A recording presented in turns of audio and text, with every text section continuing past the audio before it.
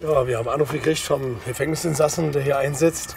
Ja, der hat wohl massive Probleme und da ich mich ja damit auch ein bisschen auskenne, wissen wir natürlich, wie das ist, wenn da noch andere Jungs drin sind, die höhere Strafen haben und massivere Dinge gemacht haben. Wir haben das mit der Geschäftsleitung von dem Gefängnis abgesprochen. Wir können ihm helfen. Denn ich denke mal, auch die Jungs haben es verdient, dass man ihnen nicht so auf den Sack geht und wenn das andere tun, die ein bisschen vielleicht mehr Kraft haben, dann kommt halt einer, der noch kräftiger ist und hilft mal.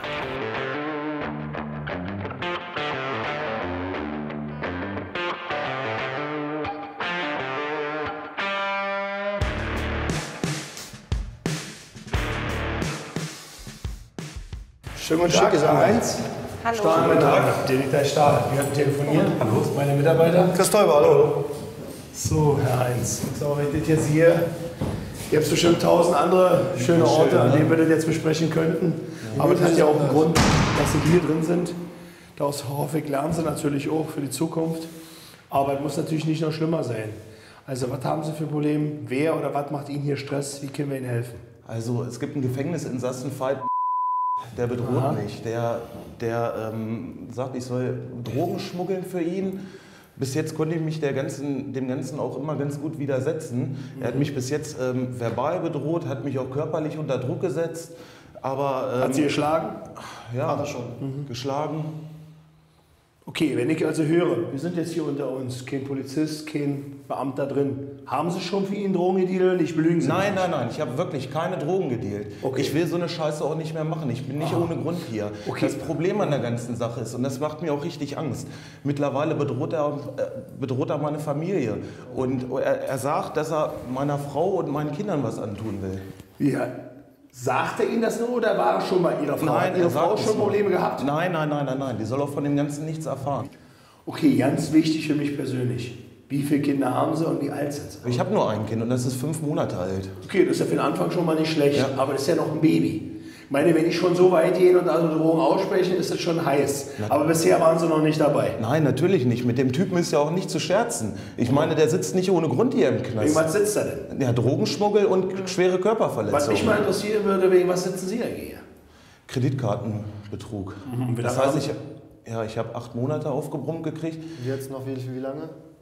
Ich habe nur noch zwei Monate jetzt, Okay. die ich abzusitzen habe. Okay. Und ich möchte mir auch nichts weiter zu Schulden kommen Wie lassen. sieht macht das Sinn. aus? Haben Sie die Gefängnisleitung äh, informiert oder weiß die Polizei schon Bescheid? Na klar, ich habe denen sofort Bescheid gegeben gehabt. Aber ich habe keine Zeugen, ich habe keine Beweise. Was soll ich denn weiter machen? Die können ja auch nichts machen. Die Polizei, die, denen, denen, ist auch die, denen sind auch die Hände gebunden. Ganz wichtig ist, auf gar keinen Fall lassen Sie sich mit den Typen ein.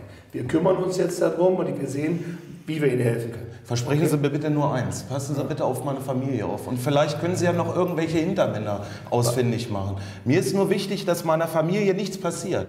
Ja, nachdem wir mit meinem Mandanten da gequatscht haben, musste ich natürlich die Chefseite noch ein bisschen befragen zu dem Fight, denn ich musste wissen, was ist das für ein Typ? Jetzt habe ich gehört, ja, okay, der ist ein schwerer Junge, damit habe ich ja mein Lebtag zu tun. Ja, der hat wohl Körperverletzungen, Drogendelikte. Ja, und da scheint auch irgendwelche Kontakte zu einer Rockergang zu sein, mit der er da wohl Kontakt hat. Das könnte natürlich dann schon irgendwie alle zusammenpassen hier mit dem Dealen da drin und da draußen. Aber genau, das werden wir jetzt erstmal eine Base uns zusammenknüpfen und ein paar Kontakte spielen lassen, was herauskriegen. Und sollte natürlich wirklich die Familie und vor allem das Kind da in Gefahr sein, da muss ich da persönlich Personenschutz machen. Denn nur weil der hier Scheiße gebaut hat, kann es nicht sein, dass seine Frau und sein Kind darunter leiden.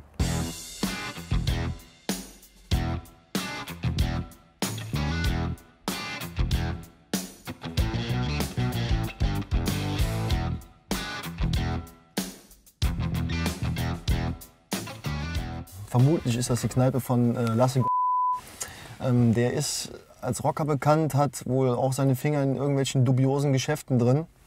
Das ist jetzt die erste heiße Spur, der wir nachgehen, weil der Fight hat mal für ihn gearbeitet. Und jetzt wollen wir mal gucken, ob der da irgendwo noch seine Finger mit im Spiel hat. Und jetzt warten wir mal ab.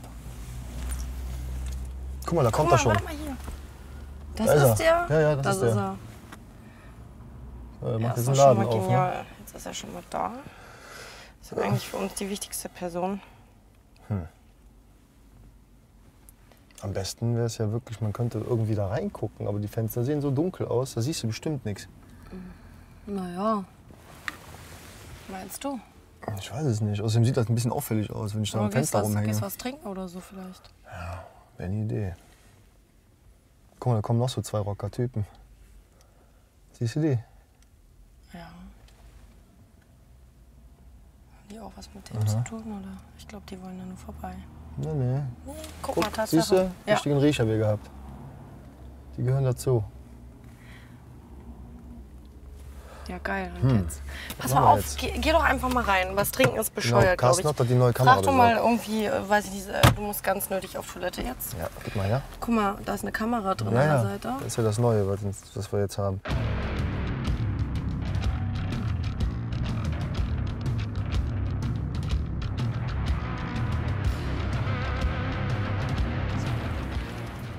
Ja, ich brauche demnächst wieder einen neuen, neuen Auspuff. Und, Hey. so. und Nee, wir kicken mal die Karre abholen, dann ist das gut. hey, was machst du denn hier?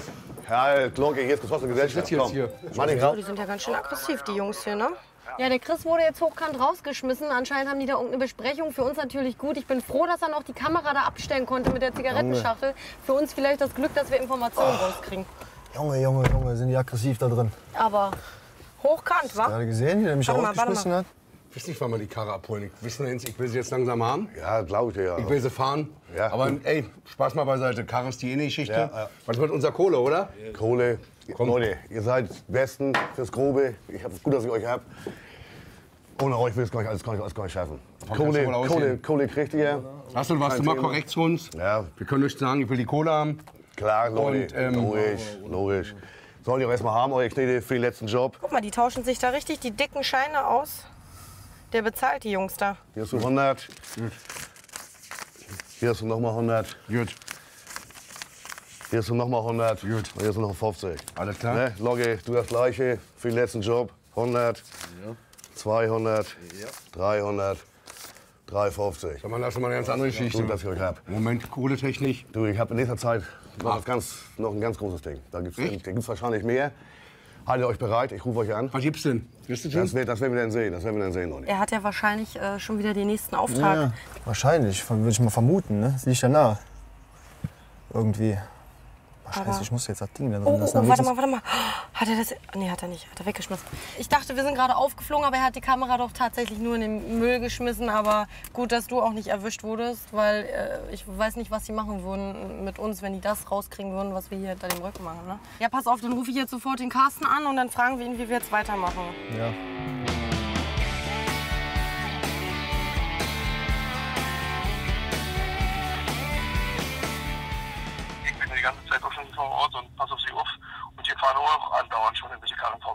Okay. Und ich gehe auch davon aus, dass der eine größere Lieferung erwartet und die verteilen will. Also, pass auf, dann bleibt, äh, macht jetzt eins, kommt jetzt einfach mal zu mir und dann werden wir mal sehen, wie die sich verhalten. Ja, denn irgendwas stinkt hier und das will ich gemeinsam Okay. kontrollieren. Ja, gut, gut, dann fahren wir klar. jetzt direkt zu dir los.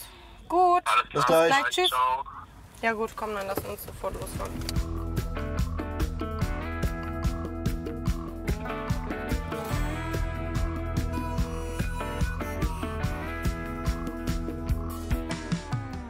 Ja, ähm, wir sind jetzt auf dem Weg zu der Frau Heinz. Der Carsten macht ja da seit einigen Tagen Personenschutz, was auch gut so ist, ne? nicht, dass noch irgendwas passiert. Wir werden jetzt dahin fahren, werden alles weitere besprechen, nochmal persönlich, was haben wir gesehen, was hat er gesehen und dann werden wir mal gemeinsam überlegen, wie wir jetzt weiter vorgehen. Da ist Carsten schon. Siehst du, das ist hier die Straße. Fahr doch hier ran, ey. Ich war hier kurz drauf.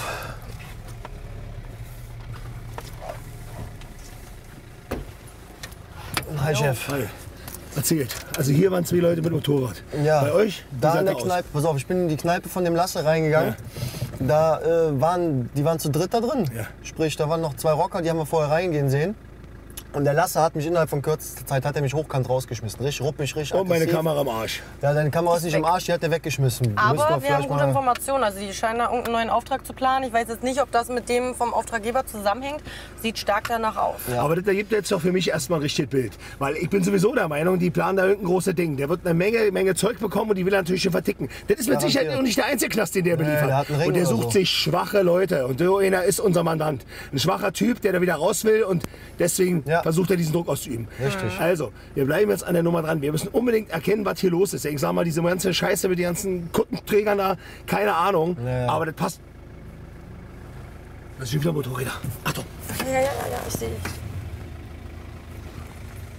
Und? Das sind die. Guck, jetzt halt die vor der Das Tür. sind die Das Jungs. sind die beiden, die wir Guck mal, das, das ist eine ganz klare Drohgebärde. Ihr bleibt da dran, verfolgt mir die Schweine. Ihr wisst, wo die hinfahren.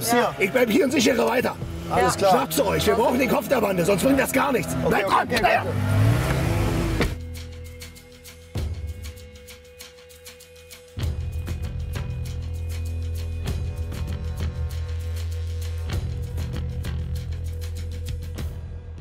Wir sind jetzt hier irgendwo mitten auf der Landstraße gelandet. Wir verfolgen die jetzt schon eine ganze Weile. Ich habe keine Ahnung, wo es hingeht. Ich hoffe, dass die uns, weiß ich nicht, entweder zum Auftraggeber führen, vielleicht haben die nur einen Auftrag. Wir haben keinen, keinen blassen Schimmer. Ich hoffe, dass wir jetzt hier irgendwelche Informationen rauskriegen, was die nochmal. vorhaben. Scheiße. Fuck. Was ist das denn? Jetzt kommen wir hier nicht vorbei. Die haben uns hundertprozentig gesehen. Scheiße, Mann. Ja, ähm, leider sind die jetzt hier irgendwo reingefahren, wo wir definitiv äh, nicht nachfahren können mit dem Auto. Wir werden jetzt zurück zum Carsten fahren, der da Personenschutz immer noch abgibt äh, und ihm das erstmal beichten müssen, dass wir nicht weiter folgen konnten. Der wird natürlich, denke ich, nicht begeistert davon sein. Ich auch nicht. Verdammt nochmal.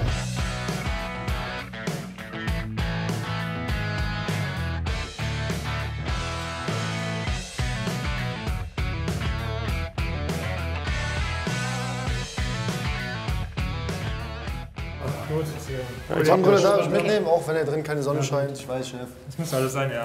Alles klar. Ihr macht unten euren Job. Jetzt machen wir unseren. So, hier ist er drin. Naja, wo soll dieser lang geworfen? Oh, er putzt.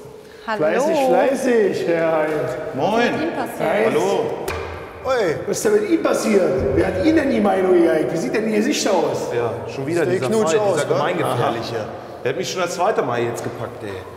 Und hat ihm fand sich die gleiche Nummer. Er will sie dazu zwingen, dass sie für ihn dealen. Ja, genau. Alles klar. Diesmal ist ein kleines Problem dazu Was gekommen. noch? Ja, er hat mir ein Ultimatum gesetzt bis morgen 15 Uhr. Was soll passieren? Ja, wenn ich bis dahin nicht äh, seine Drogen verticke, dann kriege ich ein Riesenproblem, dann schnappt er sich meinen Sohn und tut ihm genau dasselbe an wie mir.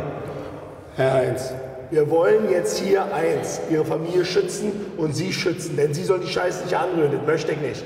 Aber dazu müssen wir Ihre Frau einweihen, denn ich kann ihr nur Personenschutz geben, wenn sie mich an sich ranlässt, dass ich auf sie aufpassen kann. Ey, das geht nicht, das Doch, geht sie nicht. muss Bescheid Nein, wissen. wirklich Sonst nicht. können wir ihr nicht helfen. Ich habe ich hab tierischen Schiss, ich habe die Scheiße, das ist alles klar, aber das Herr ist ein gemeingefährlicher jetzt, Typ. Herr Heinz, jetzt hören Sie mir ganz genau zu.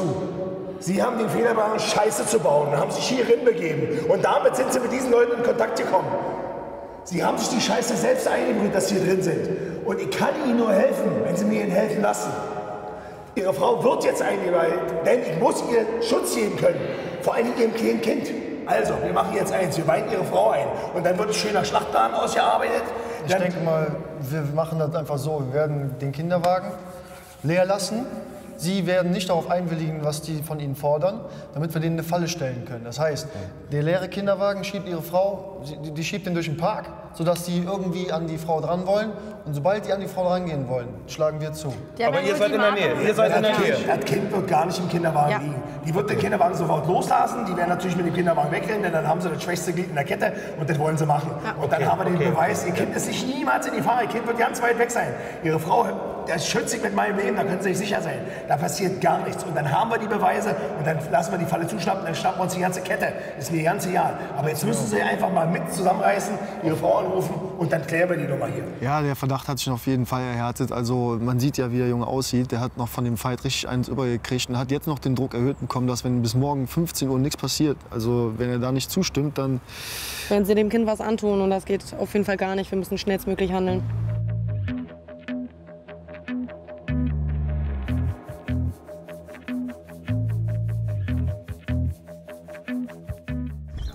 Chris, bei dir alles in Ordnung da hinten?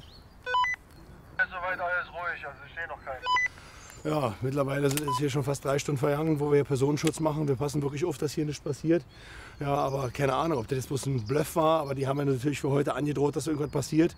Und ob das jetzt wirklich dazu kommt, werden wir gleich sehen. Hey, hey, hallo, da kommt ein Jogger, ja? Guck mal bitte, nicht, Chris. dass der dazugehört. Da kommt ein Jogger, der läuft genau auf unsere Zielperson zu. Warte, warte, warte. Kommt dann vorbei. Achtung, es spricht sie an. Aber der scheint nur nach der Uhrzeit zu fragen. Alles klar, falscher Alarm. Da kommt jemand. Der hat eine äh, Bikerjacke an und ein Kopftuch auf. Guck dir Da den kommt noch genau mal ein an, Jogger. ey. Allerdings läuft der mit Bikerklamotten. Das kann ich mir eigentlich nicht so richtig vorstellen. Das könnte unsere Nummer hier sein. Achtung. Von der anderen Seite kommt auch einer. Das ist die Falle, das ist die Falle. Achtung! Hilfe! Dagegen! Hilfe! Hey, was denn? Was denn? Was soll denn jetzt hier werden? hä? Was denn? Was ist los? Komm her! Oh Gott, na komm, na komm! Komm, komm, komm, los, komm her! Na komm! Mann, da hinten! Da hinten! Alles Torte hier, da ist eine! Lauf! Komm her, Luca, komm her! Zieh deinen hier! Komm, komm, komm! komm. Hinter dir wieder! Warte, warte, warte, warte! warte. Hey! Hey! Was, mit Püppchen spielen oder was? Mit Püppchen spielen, ja, ja, komm her! Ja, komm her! Ja. Los, komm hoch! Das war deine Chance! Ja, die Karre! Denn? Gib mir deine Hand! Gib mir deine Hand! Hast du ihn geküsst?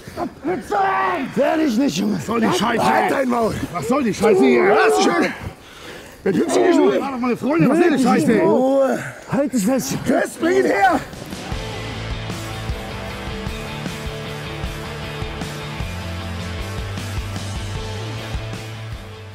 Unsere Falle hat hier wirklich zugeschnappt. Ich meine, wir waren doch vorbereitet und haben den Kinderwagen präpariert mit der Puppe. Aber ganz ehrlich, die wollten wirklich das Kind entführen. Es ist echt eine harte Nummer. Ich bin zufrieden, dass wir das vereiteln konnten.